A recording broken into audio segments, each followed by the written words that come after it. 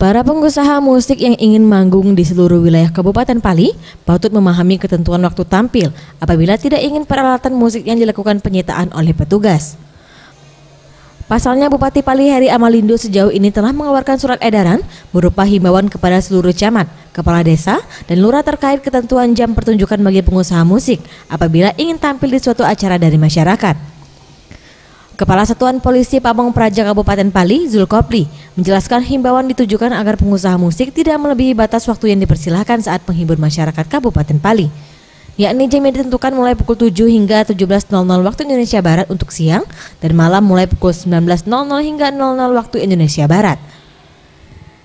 Jika ditemukan adanya hiburan musik melebihi aturan, maka pihaknya bersama jajaran terkait seperti kepolisian akan langsung menyita alat musik dan memanggil tuan rumah pemilik hajatan.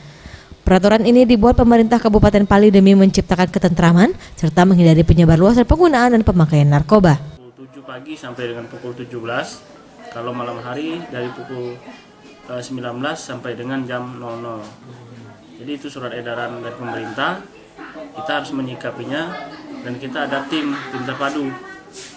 Tim terpadu ini isinya salah satunya ada dari pihak kepolisian, TNI, dari kejaksaan, dari pengadilan, dari SPM dan lain sebagainya.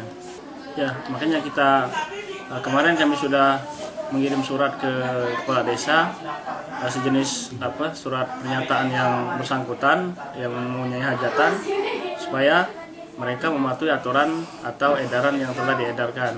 Apabila mereka melanggar, maka salah satunya mungkin uh, alat musik kita tarik sesuai dengan surat edaran itu tim yang menariknya dan aparat setempat. Boris Simbolon, Sriwijaya TV.